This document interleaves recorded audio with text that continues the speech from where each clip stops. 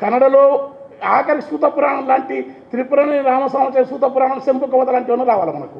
కర్ణుని కనీసం ఎన్టీ రామారావు కర్ణుని ఒక వేసే ఒక కల్చర్ రావాలి? రావణ బ్రహ్మను అద్భుతంగా ఈ దేశం తెలుగు నేలపైన ఇంకా ఇంకా ఇంకా మతోన్మాదానికి వ్యాసేదానికి కాషాయుధానికి వ్యతిరేకం ఉంటే రామారావు లాంటి వాళ్ళు తెలియకుండా వేసిన గమ్మత్తుగా రావణ పాత్రను అద్భుతంగా వచ్చిన అతను. మామూలు విషయం కాదు రావణుడు అసలు తమిళనాడు వాళ్ళు ఎందుకు ప్రత్యామ్నాయం అంటే వాళ్ళు రావణుడు అంటే దుర్మార్గుడు కాదు అంటాడు. రావణుడు ఒక యోగి కుంభకర్ణుడు ఒక యోగి అసురుడు సురతాగని వాళ్ళు. అశోకవనం శోకం లేని మనం.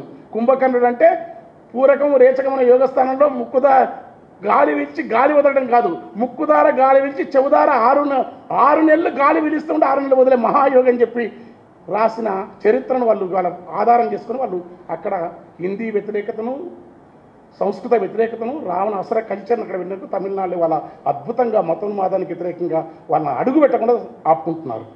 కేరళలో బలిచక్రవర్తి పండుగ వామన వామనులు పండుగ చేయరు. బలిచక్రవర్తి పండుగ చేస్తూ ఉన్నారు.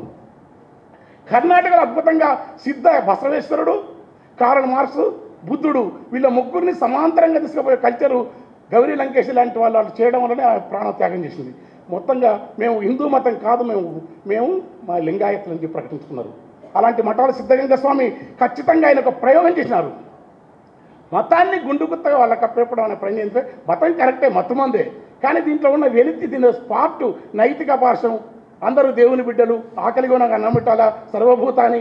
మతంలోనే నా శైవం నా రుద్రం నా విష్ణువు నా పృథ్వీ నా వాయువు నా తేజో సర్వశూన్య నురాలంబం ఏమీ లేదని చెప్పినంత భౌతికవాదాన్ని ప్రస్తావించిన కణాదును మొదలుకొని కపిలను మొదలుకొని చార్వాక లోకాయుత వైశేషిక ఇలాంటి తత్వాన్ని అంతా మన వాళ్ళు చెప్పినది మనం ఆచరణాత్మక రచయితలు కవులు వాళ్ళు తీసుకుపోవాల్సిన అవసరానికి కమ్యూనిస్టు పార్టీ ఆ- రకంగా మనకు ఒక దిక్సూచిగా ఉండే ప్రయత్నం మన వాళ్ళు చెప్పింది. మనం వేగవంతంగా కవిత్వం ద్వారా కానీ సాహిత్యం ద్వారా కానీ అది చేసే క్రమంలోనే కన్నడలో ఇవాళ దేవనుడు మహాదేవుని ఒక రచయిత చిన్న అద్భుతం కథలు రాస్తాడు.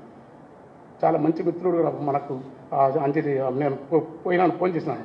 ఆయన ఆర్ఎస్ఎస్లో ఒక పుస్తకం రాస్తే ఇవాళ భారతదేశంలో ఏ పుస్తకం అన్ని లక్షల కాపీలు అమ్ముడవలే గుర్తుపెట్టుకోండి. అంటే మతోన్మాదాన్ని గుండుగుత్తగా ఆమోదించే పరిస్థితి లేదు. అన్ని భాషల్లో కనబదం అవుతుంది కనుక మనం భయపడాల్సిన అవసరం లేదు.